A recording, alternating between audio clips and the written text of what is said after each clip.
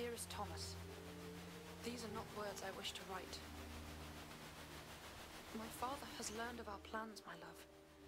Yet there is more, far worse, that I wish you to understand, but I fear you may believe me taken with madness. My father seeks to use me, as I have come to believe he used my poor mother. He wishes me to sing for him as she did. To become the star attraction that will draw good folk to this accursed spit of land. My refusal to do so has led to my confinement here at Sker Hotel. I cannot explain further, but ask that you trust me. I beseech you to compose a melody for me, a counter to the song contained within this locket of my mother's. I realize this request will seem strange, that your first thought will be to come straight here. But without your composition, all hope of holding back the darkness gathering here will be lost. Your love, always, Elizabeth.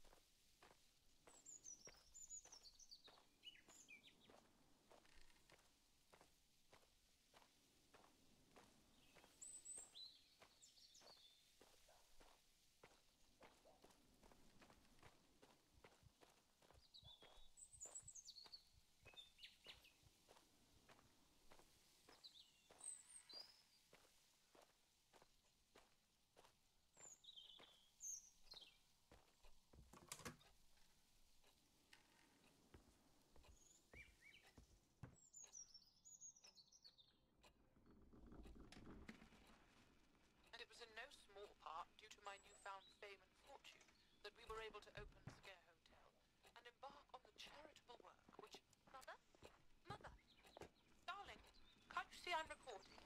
What have I told you? Never to interrupt when the door is closed. I'm sorry, Mother. Well, no harm done. I shall record this again later. But while you're here, my darling, why not sing for me? Of course, Mother.